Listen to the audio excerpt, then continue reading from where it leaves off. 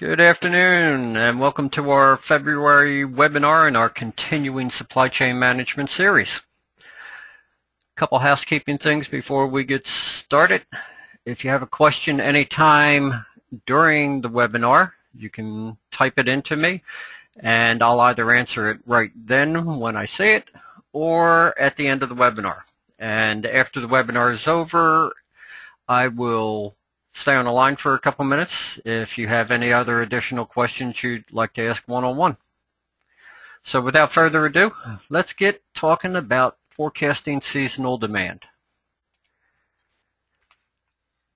What we're going to look at today is what characteristics demand has to have in order to truly be seasonal demand. We're going to then look at the quantitative intrinsic stuff that you need to do the forecast, followed by the qualitative extrinsic. And we'll be talking about them a little bit further clarification as we go along. So here we go. A forecast, seasonal forecast, the one that all of us are familiar with. And if you're in the northern hemisphere, you're looking forward to spring or summer. But we have forecast seasonal for spring, summer, fall, winter. We can tell basic things about that forecast. In spring, the temperature is going to be getting mild and it's warming. In summer, especially here in New Jersey, it gets to be hot and humid. In the fall, it can be brisk and chilly and in the wintertime, it can be cold and snowy. And in the Northeast here, we've had some uh, very graphic examples of that over the past several weeks.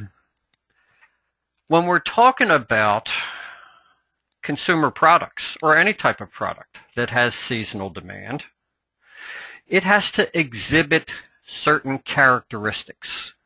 Just like a weather forecast allows us to plan for the type clothing we're going to wear in the next few months so that we can go out and buy summer clothing or winter clothing.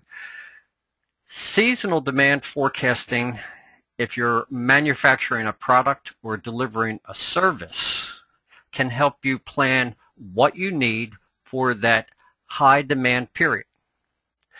Now, if we take a look at this chart, it shows that this product, its season starts in May, but it really takes off in June, July, and August, and then starts scaling back in the September timeframe.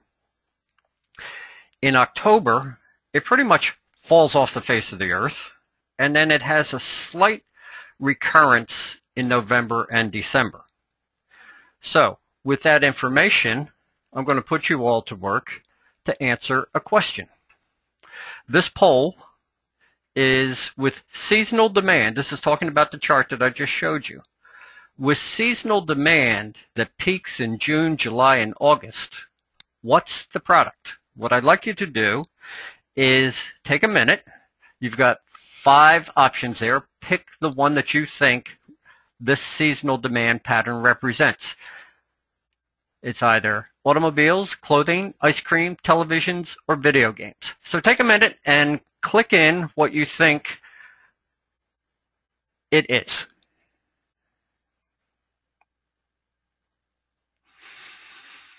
All right. So everyone was really quick on this. So let's take a look at what this product actually is. Ice cream. Everybody got it right. Congratulations. You all go to the head of the class.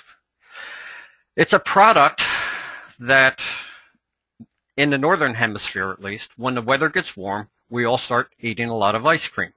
You think about June, you've got Memorial Day weekend right at the beginning, end of May, beginning of June. You think July, we've got 4th of July. August, typically the hottest month of the year where we're all looking for ways to cool down. Then it starts falling off in September. We get a brief resurgence in November and December because when you're at Thanksgiving dinner or Christmas dinner and you want to have that piece of pumpkin pie, you want some ice cream with it. So let's talk about the data that you need to create an accurate forecast for something like this.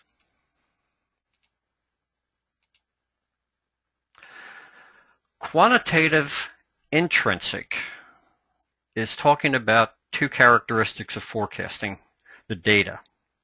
Quantitative means it's number oriented. Intrinsic means it's something that we in our company already have.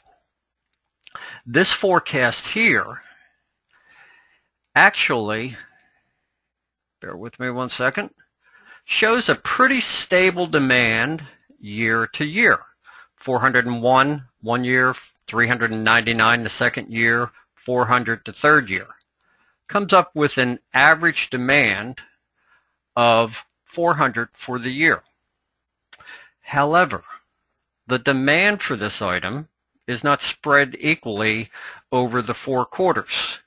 We have 128 units in the first quarter, 102 in the second, 75 in the third, 95 in the fourth.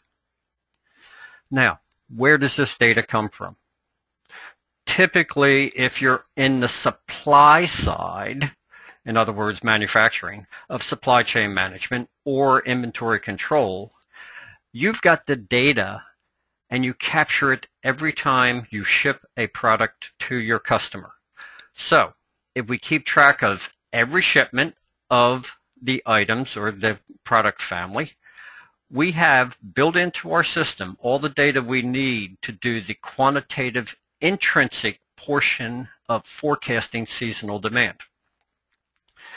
The way that you create the seasonal index, which is at the bottom of the screen here, we take the total that we are planning to sell for the year, in this case 400, divide it by whatever breakdown we choose. In this case, it's quarters. So our average demand is 100 per quarter. To create that seasonal index, if you look at the first quarter, we take 128, divide it by the average demand over all four quarters of 100, and that brings us up to that 1.28 seasonal index. So we've gotten part of the way there. We've looked at the numbers that we have, the internal data that we have, to figure out what the seasonal index should be. Now, however, we need to look outside of our organization. Where we have been looking in this example has been at what the shape of the demand is going to look at. Putting a tool together to figure out what that is going to be. Now we need to look at what the magnitude of the height of this deviation is going to be. To do that, we need to look outside of the organization. Qualitative extrinsic data. Qualitative means it's not specifically number-based. Extrinsic means something external to our organization. Some of the things that are used in qualitative forecasting, customer research, focus groups. What are the customers looking for as improvements to our product? Other items, competitors' actions. Do we have a competitor that just came into the market? Do we have a competitor that has left the market? Marketing to new segments. Do we want to take our product and try and sell it in a market that we have never broached before?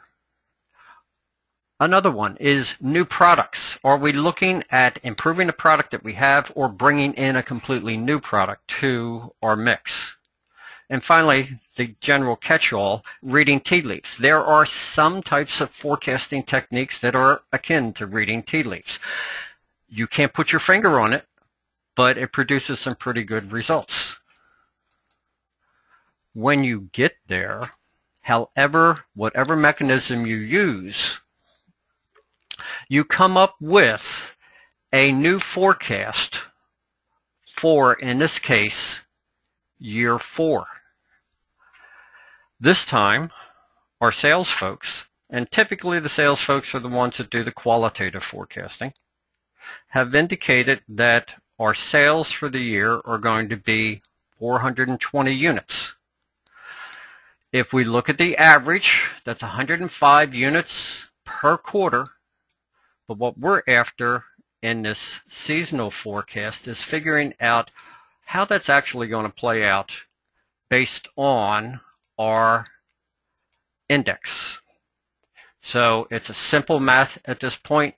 You take the average of 105 times the seasonal index of 128 brings us up to the new forecast for the first quarter going forward into this new year of 134. With this, we've now created a seasonal forecast that we can hang our hat on to plan inventory or to plan production going forward into the new year that is a combination of both the qualitative extrinsic stuff and the quantitative intrinsic data that we already have. So wrapping this up, what we've done is we have actually said what this shape is going to be. That's a quantitative intrinsic and how high the peaks are going to be going into year four. Pretty straightforward stuff. And in a brief review, seasonal demand has a very well-defined season. Now, it doesn't have to have just one season. You can have multiple seasons during the year. You need the numbers of what we've shipped, which is usually the internal stuff that we capture as far as when we ship products, and you need the qualitative extrinsic stuff about where the market's going and what does our forecasting folks that look at the external stuff think that is going to happen with our product. So wrapping it all up, short and sweet, that was forecasting seasonal demand.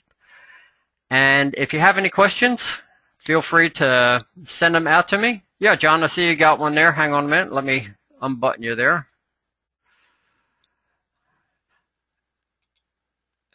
Well, John, you're going to have to type it in to me. I see you've got your hand up. When you type it in, I'll respond to you.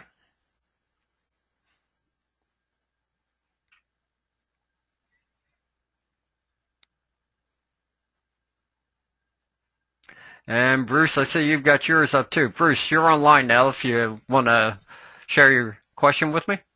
Can you, you can hear me, Rick? Yes, I can. Uh, yeah, Rick, how often should you look at your uh, your data?